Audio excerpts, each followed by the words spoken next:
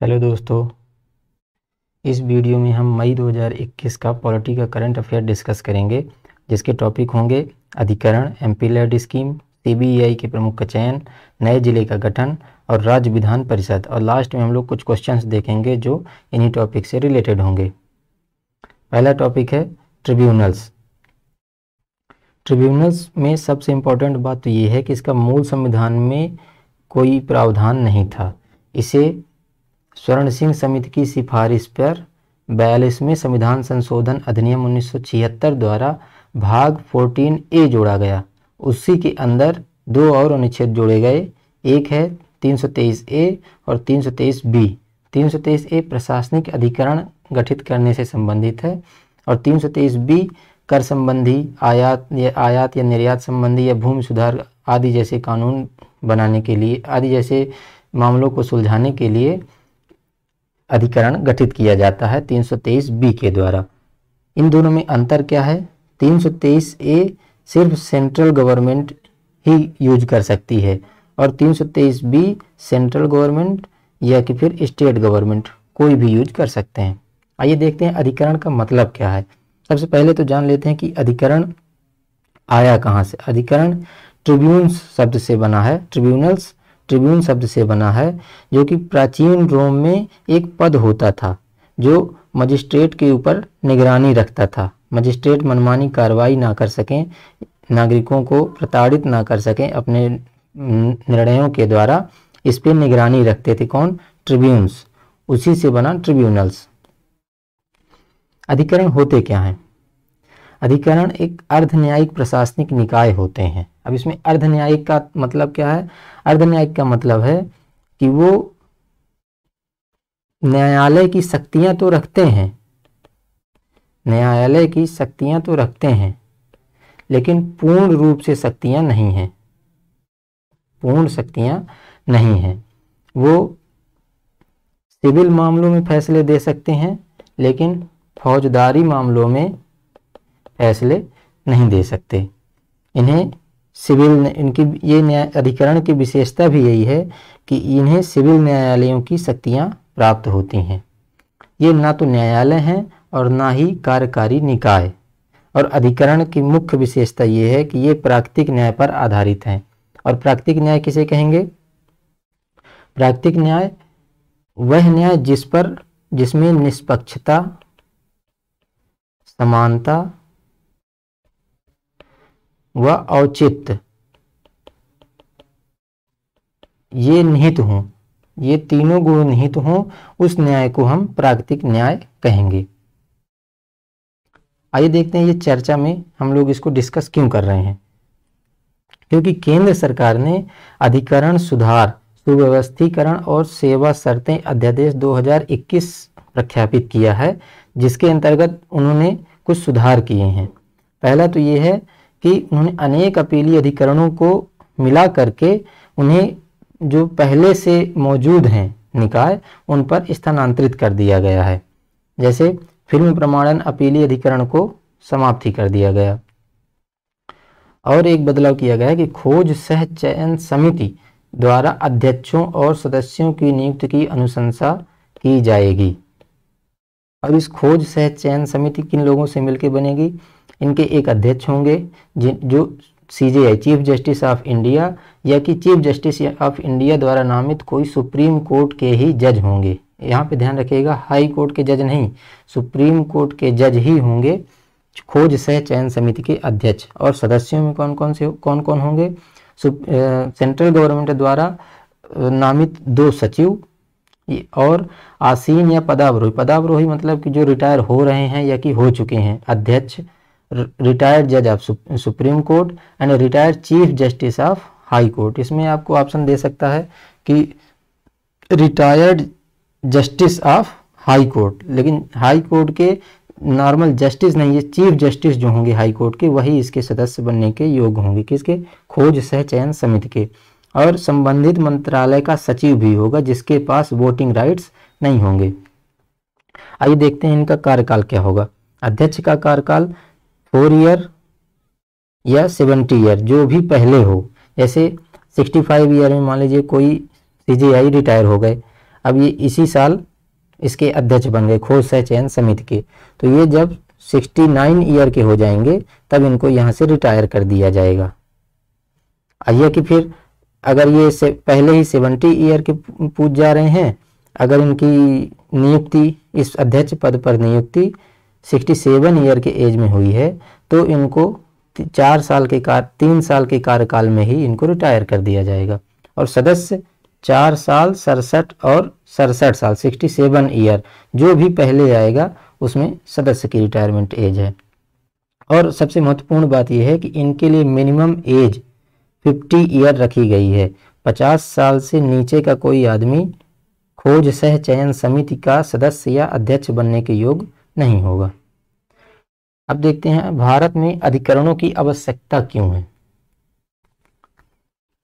मुख्य तीन कारण हैं। एक, दो, तीन। पहला है लंबित मामले, दूसरा है त्वरित न्याय का वितरण, और तीसरा है कुछ क्षेत्रों में लागत प्रभावी और प्रभावशाली। आइए देखते हैं लंबित मामले कैसे। भारत में सुप्रीम कोर्ट में 2006 में चालीस हज़ार केस लंबित थे, और वही बढ़कर 2019 में साठ हज़ार केस हो चुके हैं कहाँ? सुप्रीम कोर्ट में। हाई कोर्ट में 2006 में सैंतीस लाख थे, अब 44 लाख हो चुके हैं 2019 की रिपोर्ट के अनुसार। और सब ऑर्डिनेट कोर्ट्स में, यानी कि डिस्ट्रिक्ट कोर्ट्स में 2006 में ढाई करोड़ केस केस पेंडिंग थे, जो कि बढ़कर 2019 में 3.1 करोड़ हो गए। लंबित मामले इतने ज़्यादा हैं, इस कारण से अधिकरण स्थापित करने की आवश्यकता भारत में है। और ये त्वरित न्याय का वितरण करते हैं। ये इनमें न्यायालय कोई पारंपरिक न्यायालयीय न्यायालयीय परंपरा का फॉलो इसमें नहीं किया जाता। इसमें त्वरित न्याय दे दिया जाए। जैसे भी इनको पता चला कि ये पार्टी सही है, ये पार्टी गलत है, इन्होंने इसके पक्ष में फैसला दे दिया। लेकिन न्यायालय में ऐसा नहीं होता। न्यायालय में समय ज़्यादा लगता है और कुछ क्षेत्रों में लागत प्रभावी और प्रभावशाली है। जैसे कोई स्पेसिफिक केस हुआ, जैसे कोई प्रशासनिक, जैसे एक केंद्रीय प्रशासनिक अधिकरण है सेंट्रल एडमिनिस्ट्रेटिव ट्रिब्यून है। इसका काम क्या है? प्रशासनिक अधिकारियों से संबंधित, उनकी नियुक्ति या सेवा शर्तों संबंधित जो भी विवाद होंगे, वो केंद्रीय अधिकार, केंद्रीय प्रशासनिक अधिकरण उनको सुलझाएगा। वो एक निश्चित समय सीमा पे अपना काम पूरा कर लेते हैं। तो इससे लागत भी जब कोई काम निश्चित समय पर होगा, उसकी लागत भी घटेगी और प्रभावशीलता भी बढ़ेगी। देखते हैं अधिकरणों की समस्याएँ क्या हैं। ये लंबित मामले अधिकरण की आवश्यकता भी है और जब, अब ये इसकी समस्या भी बन चुका है, लंबित मामले। समस्या कैसे बन चुका है? क्योंकि ये हालाँकि निराकरण की दर तो अधिक है यहाँ पे आप ये देखिए, निराकरण की दर अधिक है, लेकिन वर्क लोड ज़्यादा है। किस पे? इसके जो अध्यक्ष हैं या कि जो भी सदस्य हैं, जो जो भी अधिकरण स्थापित किए गए हैं, उन पे वर्कलोड ज़्यादा है, जिस कारण से मामले लंबित हो जा रहे हैं। और कार्यबल की कमी, दूसरा कारण क्या है? अधिक दूसरी समस्या क्या है? कार्य बल की कमी। सुप्री और सुप, रिक्त पड़े पद।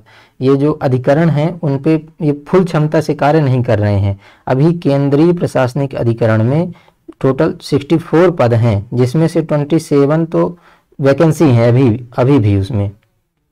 तो ये फुल क्षमता से कार्य नहीं कर कर पा रहे हैं। अब इसका रीजन क्या है फुल क्षमता से कार्य न कर पाने का? ये एक आता है शक्ति का पृथककरण के सिद्धांत की उपेक्षा। अधिकरण बन अधिकरण में इनकी पेमेंट संबंधित, अन्य सेवाओं अन्य सुविधाओं संबंधित जो भी चीज़ों की ज़रूरत होती है, उनमें गवर्नमेंट हस्तक्षेप करती है, जिससे इनकी प्रक्रिया बाधित होती है। और स्वतंत्रता का अभाव, ये तो हम देख ही चुके कि गवर्नमेंट का हस्तक्षेप इसमें रहता है, इनकी नियुक्ति में। और सेवा मुक्त करने, सेवा मुक्त करने में, आदि चीज़ों में गवर्नमेंट का हस्तक्षेप रहता है। यही अधिकरणों की समस्याएँ हैं। और इन्हीं का सुझाव करने के लिए, इन्हीं के कुछ सुझाव, सुझाए गए हैं। उसमें से सबसे मुख्य है राष्ट्रीय अधिकरण आयोग, एनटीसी की स्थापना करना। National tribune national tribune, tribunal commission की स्थापना करना। इसको सबसे पहले सुप्रीम कोर्ट ने 1997 में 1997 में सुझाव दिया था कि एक राष्ट्रीय अधिकरण आयोग की स्थापना होनी चाहिए। लेकिन अभी तक ये हो नहीं पाया, अभी तक लंबित ही है। और एक और इंपॉर्टेंट बात है कि इसका सुझाव किस केस में दिया था सुप्रीम कोर्ट ने? L Chandra Kumar L Chandra Kumar versus union of India. और दूसरा सुझाव क्या है? अधिकरण की पीठ स्थापित की जाए। जैसे कई ज, कुछ शहर हैं वो जैसे सुप्रीम कोर्ट या हाई कोर्ट से दूर दराज स्थित शहर हैं। जैसे आप कोई भी उत्तर पूर्वी उत्तर पूर्वी क्षेत्र ले लीजिए उनको सुप्रीम कोर्ट आने में या कि एनजीटी में आने में दिल्ली में आने में उनको समस्या होती है। इस कारण से वो आते ही नहीं है, अपना केस ही रजिस्टर नहीं कराते हैं। वो अधिकरण की पीठ जगह जगह पर स्थापित की जाए, जहाँ पे हाई कोर्ट हो, कम से कम वहाँ तो अधिकरण की पीठ स्थापित हो ही। और तीसरा है, समयबद्ध शिकायत निवारण तंत्र। समय से उनकी शिकायत को निवारण निवारण किया जाए, और योग्य कार्यबल जो कि हम पहले भी देख चुके हैं उनकी समस्याओं में तो योग्य कार्यबल की नियुक्ति यथासंभव की जाए। अगला टॉपिक है MP LAD scheme member of parliament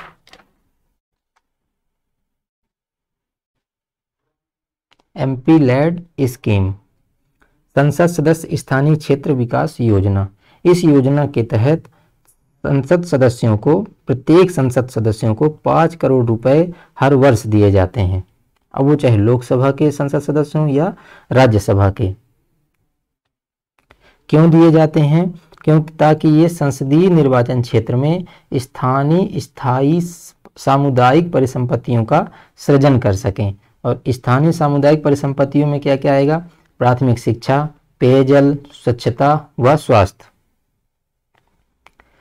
कौन इसके इसके लिए अनुशंसा कौन कर सकता है? एमपी लेड स्कीम के तहत ये जो पाँच करोड़ रुपए मिलने वाले हैं, इनके लिए कौन अनुशंसा करेगा और वह कहाँ इन्वेस्ट कर सकता है उन पैसों को?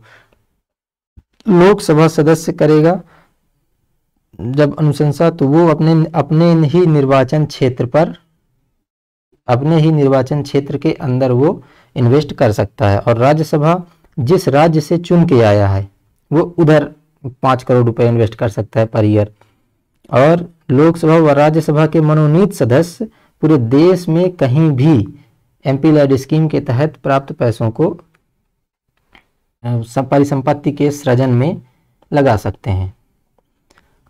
अब एक बात एक महत्वपूर्ण एक महत्वपूर्ण बात आती है कि लोकसभा व राज्यसभा के निर्वाचित व मनोनीत दोनों सदस्यों को, जितना भी उन्होंने अनुशंसा की है, उसका कम से कम 15 परसेंट अनुसूचित जाति निवास क्षेत्रों को और साढ़े सात परसेंट अनुसूचित जनजाति निवास क्षेत्रों को अंशदान को, को अंशदान देना पड़ेगा। जैसे अगर किसी एक पर्टिकुलर ईयर में किसी सांसद ने एक करोड़ रुपए परिसंपत्तियों के सृजन के लिए अनुदान मांगा तो उसको एक करोड़ में से पंद्रह लाख रुपए अनुसूचित जाति क्षेत्रों में और साढ़े सात लाख रुपए अनुसूचित जनजाति क्षेत्रों में परिसंपत्तियों के सृजन के लिए निवेश करना होगा।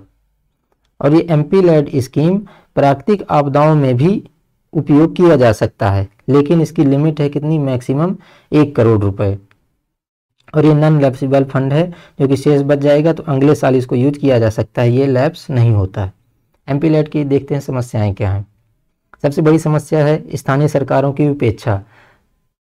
सांसद जो होते हैं वो बिना किसी सर्वे के कोई भी योजना के लिए आवंटन कर देते हैं। वो स्थानीय सरकार पंचायत, पंचायतों से कोई सलाह मशवरा नहीं लेते हैं और आवंटित निधि का पूर्ण उपयोग नहीं हो पा रहा है। अभी तक टोटल 16 परसेंट निधि का ही यूज़ हो पाया है और सृजित परिसंपत्तियों की निम्न स्तरीय गुणवत्ता, जिसका रीजन है भ्रष्टाचार।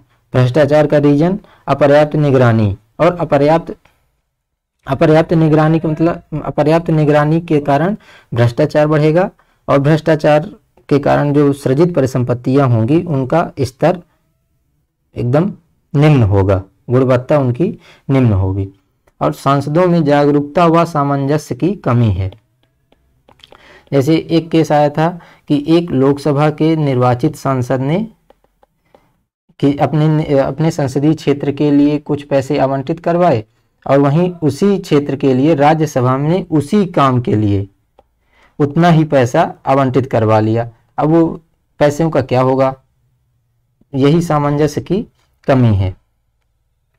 इसका समाधान यही है कि सामंजस्य बढ़ाया जाए, निगरानी बढ़ाई जाए, परिसंपत्तियों की गुणवत्ता बढ़ाई जाए, अपव्यय कम किया जाए, पंचायती राज संस्थाओं की भूमिका बढ़ाई जाए और प्रभाव आकलन किया जाए। प्रभाव आकलन का मतलब अगर आपने किसी स्कूल के लिए पैसे आवंटित किए हैं। तो अब उसके लिए प्रॉपर निगरानी हो कि स्कूल बनी कि नहीं, स्कूल में बच्चे आ रहे हैं कि नहीं आ रहे। ये होता है उसका प्रभाव आकलन। उससे उन, जो स्कूल का सृजन हुआ, उससे उस क्षेत्र के लोगों का जीवन स्तर में क्या बदलाव आया, ये होता है प्रभाव आकलन, जो कि सबसे महत्वपूर्ण पहलू है। तीसरा टॉपिक है सीबीआई के प्रमुख का चयन।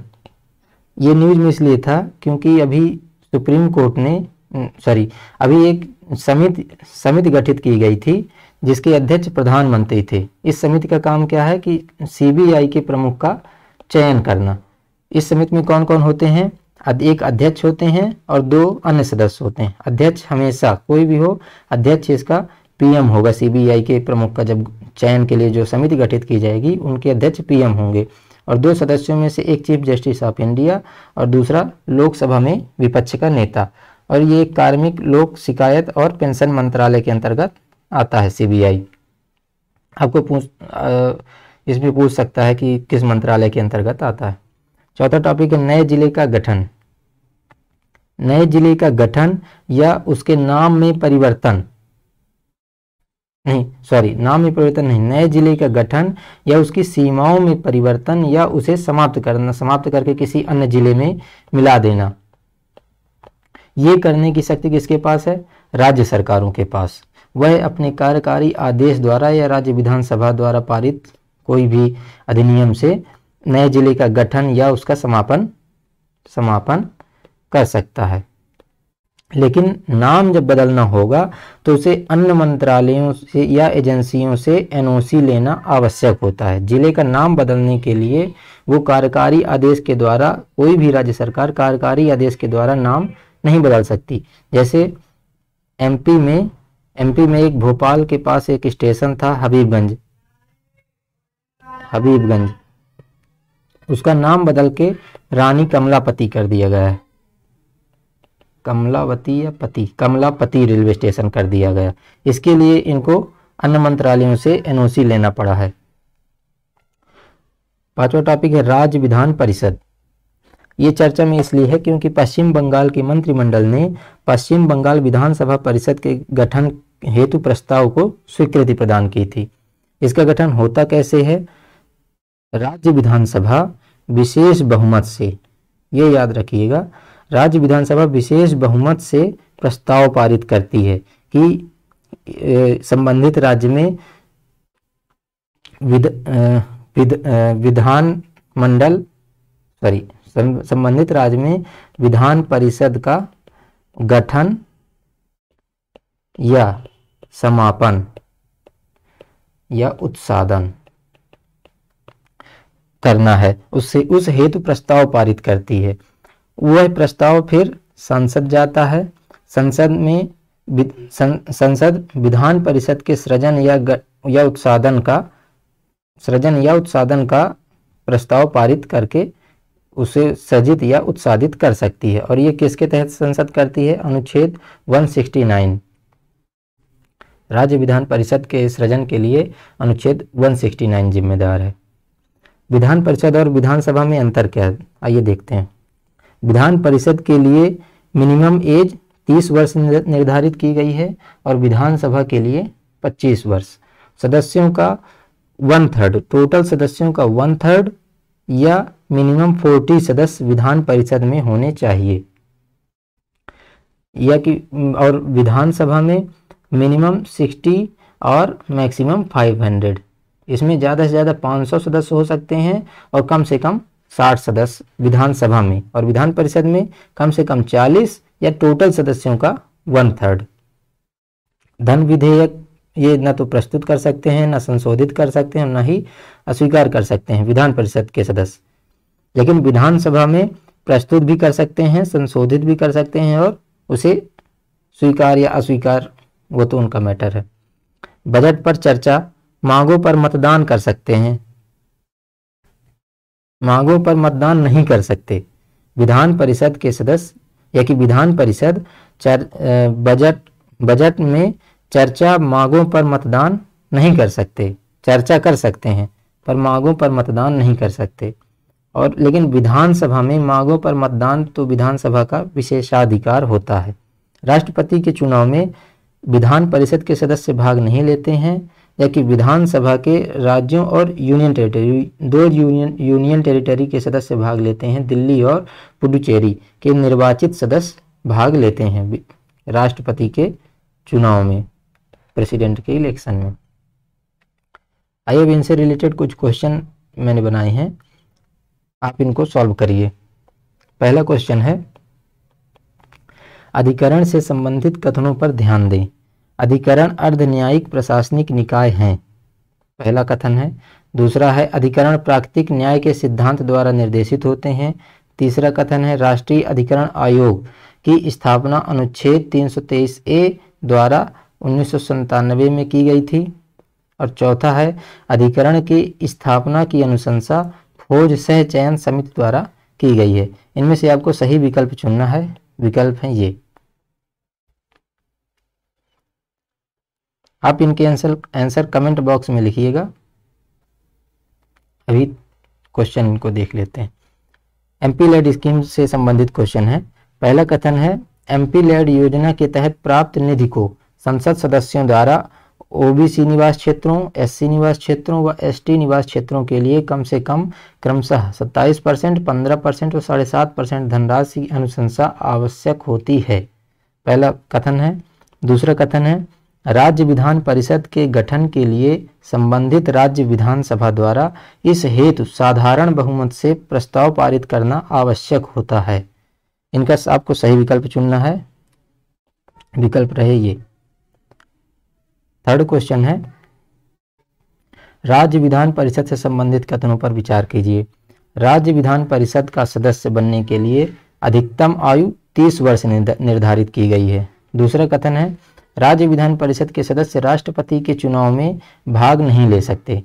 आपको इनमें से सही जोड़ी, सही विकल्प चुनना है? का, खा, गा, घा। जो भी आंसर हो, आप कमेंट बॉक्स में आंसर दें।